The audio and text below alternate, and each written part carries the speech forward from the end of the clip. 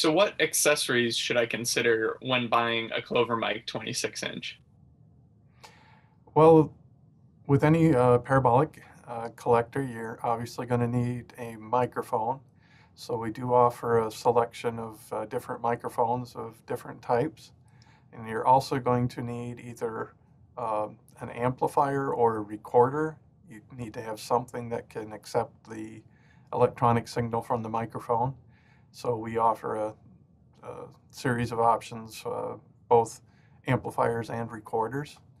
And then uh, you're probably going to want a headphone of some sort because you do end up uh, pointing or aiming the parabolic as much with your ears as you do with your eyesight. So headphones are uh, highly recommended.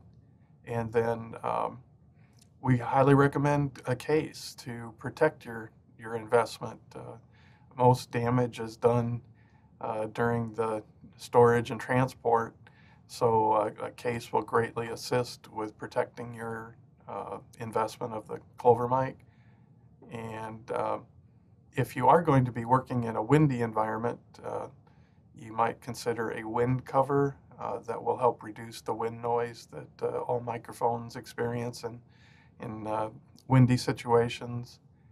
And lastly, if you are uh, going to be holding your KLOVER MiK for a long period of time, we do offer a mounting accessory that lets you mount the KLOVER MiK either on a tripod or a monopod. Um, monopod obviously being much more portable, but if it's going to be stationary, uh, mounting the unit on a tripod can be very helpful.